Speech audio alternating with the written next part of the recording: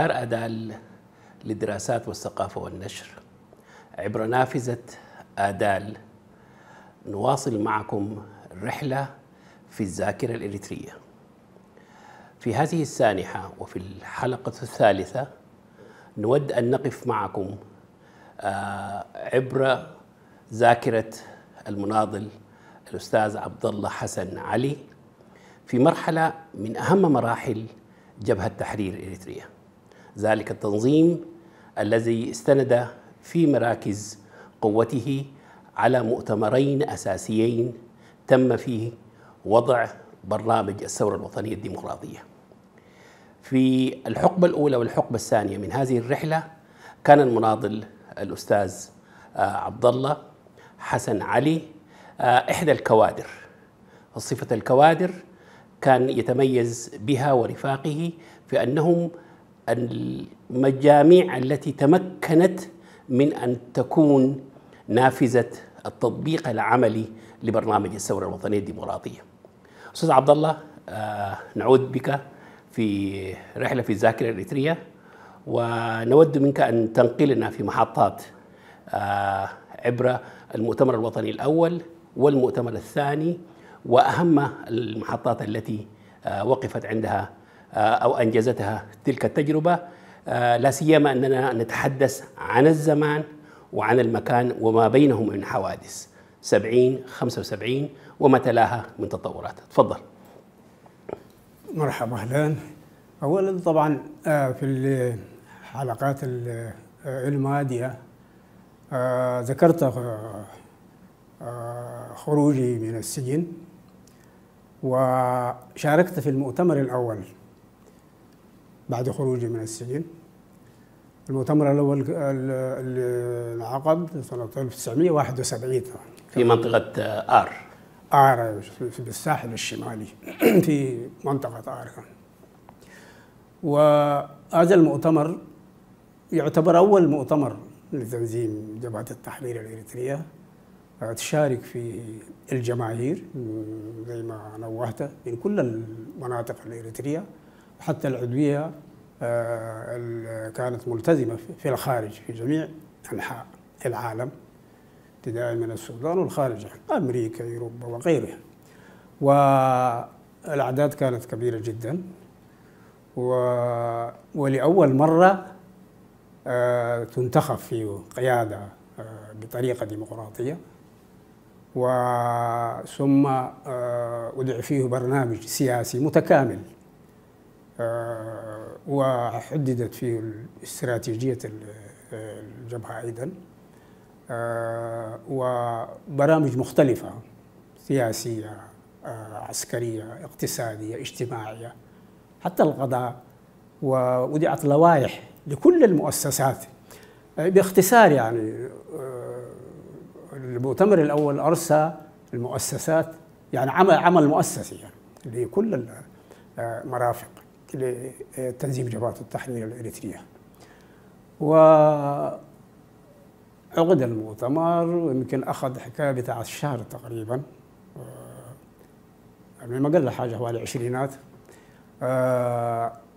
ومن الأشياء اللي أحب أذكرها إنه الناس جت من كل الاتجاهات الإريترية وعامل اللغة يعني كأن مشكلة يعني. طبعا في إريتريا في تعدد اجتماعي ولغات مختلفة يمكن حوالي ثمانية ولا تسع لغات. ثمانية لغات ثمانية لغات. ثمانية لغات. تعبر عن مجاميع ثقافية. مجاميع ثقافية مختلفة. وطبعا اللغات الرسمية هي التجرينية والعربية معروف يعني. لكن طبعا يعني عشان اللغة ما تكتسب إلا عبر مؤسسات مؤسسات مختلفة. يعني سواء كانت تعليمية أو ثقافية أعمال غيره. وحتى الناس تنجمد واللغة تكتسب عبر عبر التواصل يعني. عشان كده كل واحد ما يمتلك القدرة للتحدث والتعبير عن ما يرضاه بلغات بلغة الآخر. دي ظاهرة كانت موجودة مع أنه في هناك جهة تجيد اللغة العربية والتجرينية ده موجود. لكن الشعب. المؤتمر ده آه المؤتمر ده يعني مؤتمر مشاركين فيه من جميع الاتجاهات الارتدادية حتى الراعي العادي واللي ما شاف ذاته لا دراسة لا حاجة. يعني بصراحة كان صورة حقيقية مكتملة للواقع. للشعب الشعبي. وحسب ما أتذكر اختيرت السكرتارية وبدأ وبدأ العمل.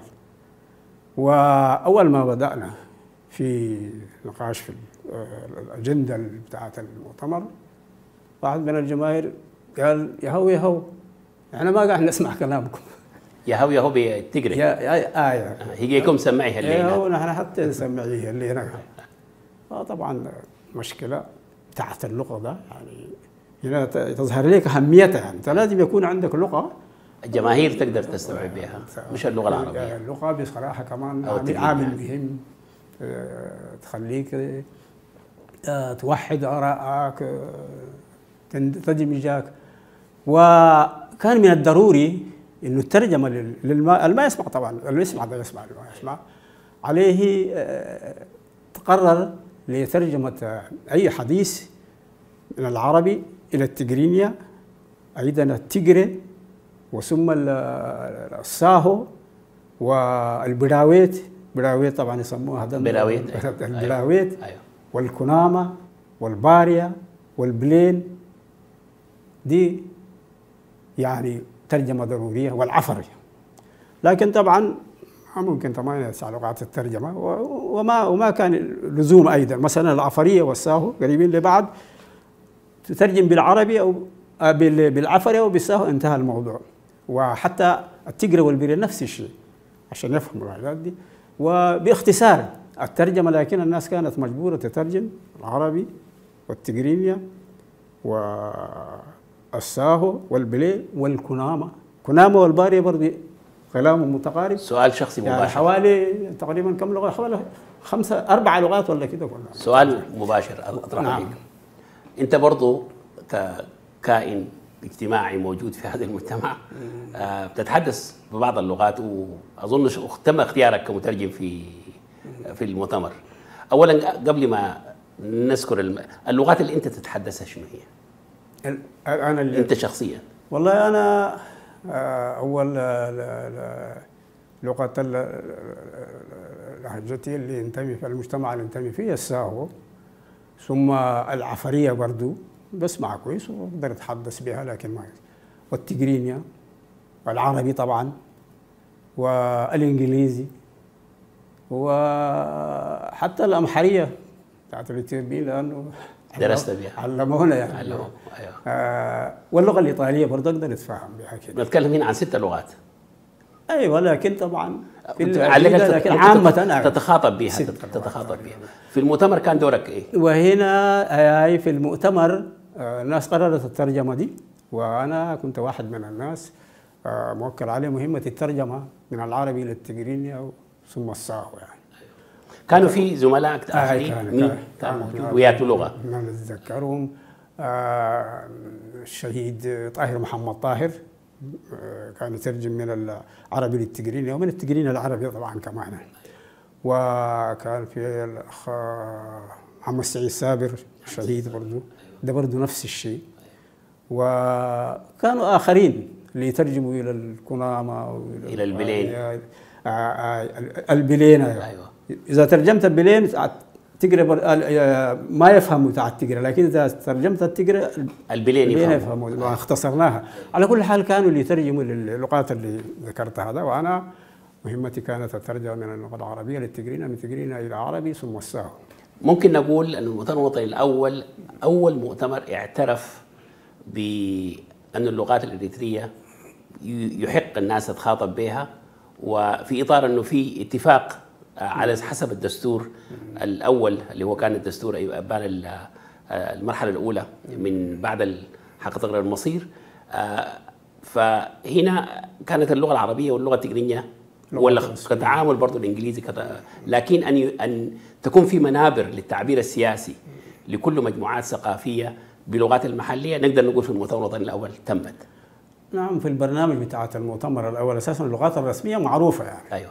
من اللي أقرت أيام ال- آه، التحرير أو فيدرالية ال- الحكومة الفدراليه آه، وهنا في البرنامج ال- السياسي الأول اللي أرساه المؤتمر الأول آه، الاعتراف ب- آه، باللغات لغة الأم أو لغة لغة أيوة. القوميات. وحقه أيوه. حق كحق التطوير، ديمقراطي حق التحدث حق التطوير أيوة. ده ضمن البرنامج في- موجود. لكن اللغات الرسمية طبعا العربية والتجريبية اللي هي الدولة والمجتمع. يعني الدولة دائما يكون عندها خطابها لكن المجتمع لازم يكون كمان يعترف بخطابه. آه. ده مسألة اللغات ده في المؤتمر ال- ال- الثاني اللي هي سنة أيوة. 1975 تغيير كبير. ما كان في جهد عشان تترجم في كل لأنه خلال السنوات دي الناس اندمجت. هسه مثلا بين المؤتمر الوطني الناس الأول. المنتمين لجيش التحرير الإريتري من كل الاتجاهات. أيوه. إذا ال- ال- إذا ما انجمدت ما تقدر يعني يعني تتفاهم و وعامل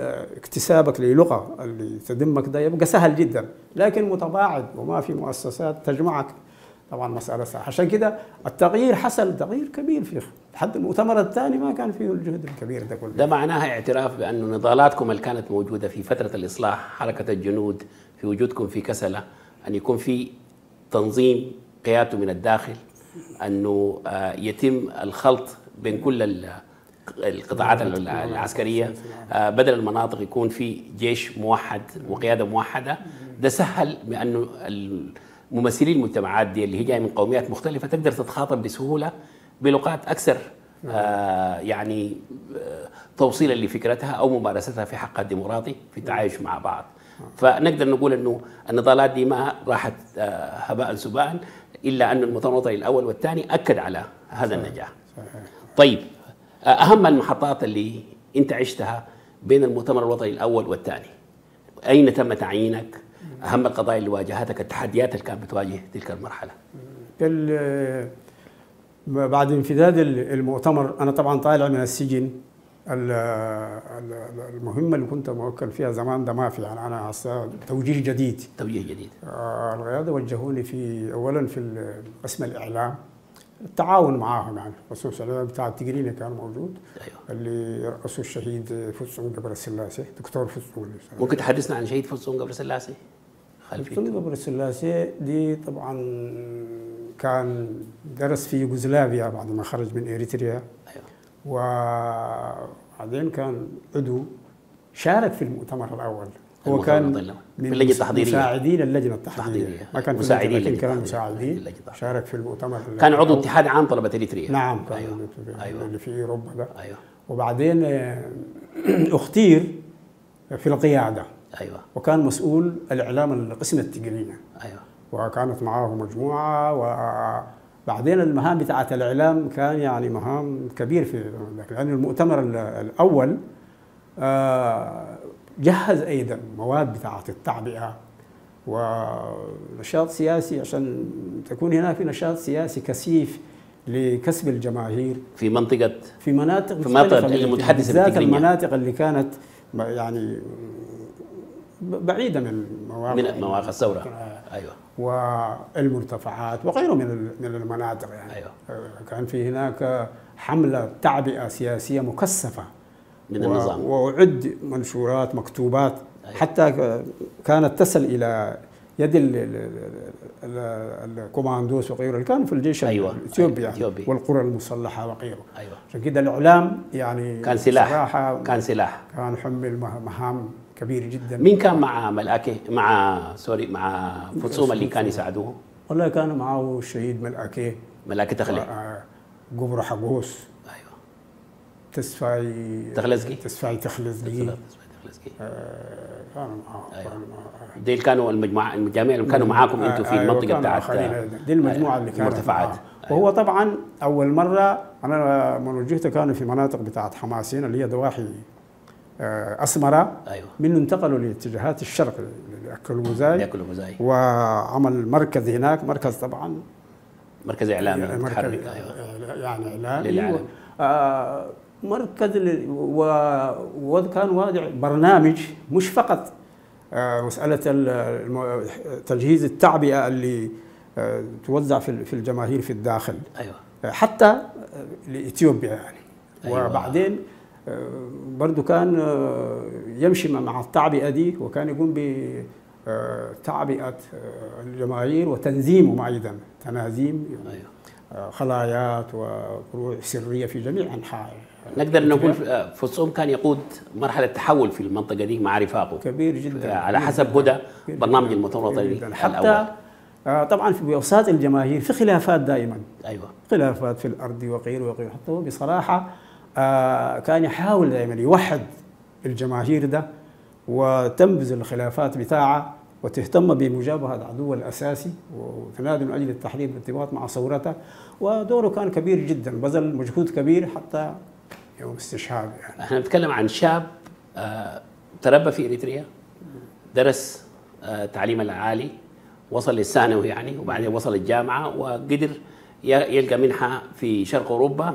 بعد تخرجه آه، قرر أنه يرجع للأراضي المحررة في السبعينات في أوائل في- نهاية الستينات وأوائل السبعينات وشارك في التحول الديمقراطي اللي تم في داخل جبهة تحرير اريتريا وأنت قاعد يعني كشاهد على التاريخ مش سمعي أنه آه، بذل مجهود أكثر من أنه يكون آه، كادر منفذ لبرامج لا كان عنده خطة ورؤية لتصحيح كثير من المسارات اللي كانت موجودة والخلافات في تلك المنطقة.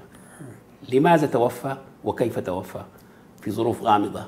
آه، هذا المناضل؟ والله ال- ال- الحالة اللي توفى فيها هو ال- المجموعة اللي كانت معاه كان سلاح جديد جاي مسدسات مسدسات شكله غريب ذاته يعني.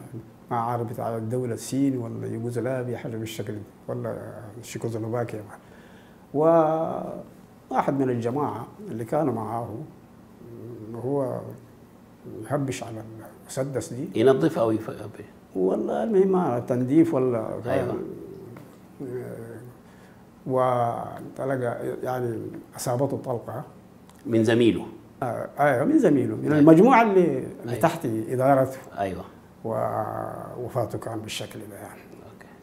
هل نقدر نقول وفاة طبيعية ولا وفاة كان والله أسئلة؟ ده طبعا اعتقل وحصلت تحقيقات وكل شيء. أيوه. آه، لكن ما أصدر حكم بإدانته أو براءته ما عارف يعني بالضبط اللي- المهم طلع من السجن وحتى واصل النضال وحسه موجود مع النظام من الجنرالات بتاعت النظام موجود في النظام الحالي موجود كجنرال. اللي هو إبراهيم لي كفله إبراهيم الليكف لي هو كان رفيق. طيب شكرا على هذه ال- النقطة واللي آه، مسا- سارت مسارة جدليا وصل آه، آه، وصل المتابعين للتاريخ. والمسألة متروكة للتحقيق حولها آه، من الذين سيبحثون عن هذه القضية.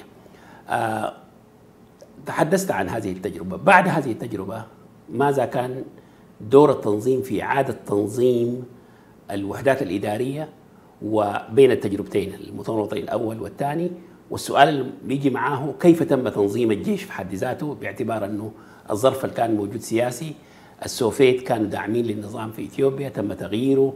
آه، كل دول الكتله الشرقية مؤيدة للنظام في إثيوبيا. أيضا دولة زي آه، جمهورية آه، اليمن الديمقراطية ليبيا آخرين كانوا يدعموا هذه ال- الحملات القادمة. كيف استعدت واعادت تقييم نفسها تنظيم جبهة تحرير اريتريا وكيف نظمت نفسها على المستوى الإداري السياسي وعلى المستوى العسكري؟ نعم. اولا آه، مهام المؤتمر الأول المهام الأول المؤتمر الأول كان تقييم المرحلة اللي فاتت. والمرحلة اللي فاتت طبعا كان فيها نواقص كثيرة وحتى كانت تظهر إشكالات مشاكل آه، في سواء كانت في المناطق العسكرية أو مع الجماهير جد دي كانت يعني. والمؤتمر زي ما قلت وضع برنامج للتحرك على مستوى الجماهير لربطهم مع ثورتهم. وتعريفهم عن الثورة وبرامجها وأهدافها إن الثورة ثورتهم ما ضدهم. وبعدين يعني قررت إنه عدم استعمال العنف لأنه في شعب مسلح حاجات بالشكل. وتخصيص كوادر سياسية واعية ثم القيام بحملة مكثفة دي أوساط الجماهير. ونبي بنفس المستوى أيضا على المستوى المقاتلين المناضلين أيضا التدريس البرنامج السياسي. يعني ولرفع وعيهم ال- السياسي. السياسي. وكان في حملات مكثفة يعني. وبعدين جيش التحرير برضو وضع له لوائح و... ونظم المسألة سواء كانت مسألة تنظيمه أو مهامه وغيره بدعت له لوائح يعني لوائح عسكرية. القضاء. آه، آه، ما زي زمان يعني. أيوة، آه، حسب ما تراه ولا المهم يعني برامج متكاملة. شنو مهامه المسؤوليات توضح كل الأشياء دي. عليه ال- ال- ال- التعطير بتاعت ال- والتنظيم الجيش التحريري كان وفق اللوائح اللي وضعت في البرنامج آه، آه، العسكري.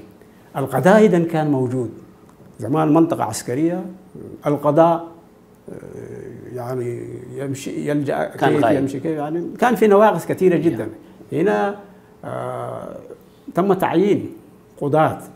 عندهم خبرات قانونية وغيره آه مستعينين بقوانين عرفية وقوانين وضعية. وضعية و و- وكان يحكموا آه، اي مشاكل تطرأ ده وفق طبعا الجانب العسكري في اللوائح العسكرية وفق اللوائح العسكرية و والقضاء ده حتى في النهاية كان في هناك تعيين بتاعت محكمة الاستئنافات كانت أيضا يعني. محكمة استئنافات في حتى كفاح لا- المسلح هاي في كل المنطقة في قضاة في محكمة الاستئنافات موجودة طيب. الجانب العسكري نفس الشيء عليه يعني بعد المؤتمر الأول وفق البرامج المختلفة اللي وضعت يعني النشاط كان منصب آه، آه، ال- الوضع اللي كان و آه، والتجنب ال- آه، الاخفاقات والأخطاءات اللي كانت زمان زي ما قلت حتى مسألة القرى المسلحة في قرار اتخذت قرار إنه الناس ما تستعمل العنف و في قرى حاول- ضد الثورة موجودة في تعبئة مناطق وكده أيوة أيوة. طبعا تركيز في, أيوة. في هناك دائما آه، يعني عناصر يعني خاينة آه، طبعا أو مجبور- مضللة أو أو مجبور أنت أيوة. بالذات اللي اللي يعني تضر الثورة. أيوة. مجبور أنت تتخذ إجراءات. أيوة. لكن غير كده آه، حتى أنت ل- لما تجي في قرى معينة أيوة. يكونوا في أسرى ولا أي حاجة أيوة. تعبيهم وتفكهم. مسألة تقتل والحاجات دي ما في ما ما. أيوة، وبأساليب مختلفة. عشان كده الناس هل التنظيم هل التنظيم تغيير كان- كبير حصل. هل التنظيم كان يمارس النقد والنقد الذاتي في هذه التجربة؟ نعم. النقد والنقد الذاتي. واحدة. وقضية الديمقراطية المركزية كيف كانت القضيتين تمارس في إطار الجيش جيش التحرير؟ والله الجيش الإريتري أول طبعا صحيح يعني الناس تأمل بالديمقراطية لكن ال- المركزية تختلف الجيش ال- أي جيش حتى حس الثوار مناضلين يعني. أيوة. إحنا صحيح ما ما كنا جيش نظامي إحنا مناضلين يعني. أيوة. الجيش النظامي مختلف. مختلفة حتى إذا ما تعمل له تحية فيها مشاكل. يعني الحاجات دي ما موجودة. وعندك شارات وعندك شو. طبعا الجيش ال- النظامي يختلف عن المد... أنت المناضل عن المناضلين. لكن مع كده كانت في لوائح. أيوة. اللوائح ده ما تخلو من الانضباط.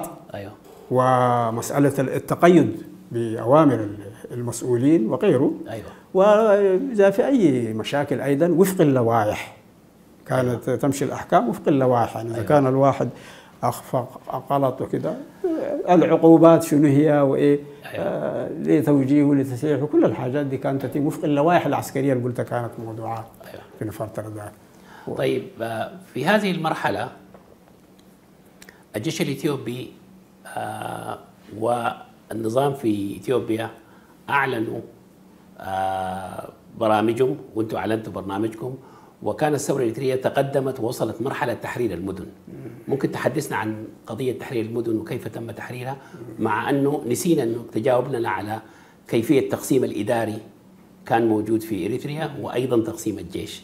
فحيكون تقسيم الجيش التقسيم الإداري وأيضا السؤال الثالث المهم اللي هو تحرير المدن الإريترية. نعم اولا آه، آه، بعد المؤتمر الأول بعد يمكن آه، ت- ال- التوجيه كان وحدات معينة لكل منطقة على كل مستويات إريتريا.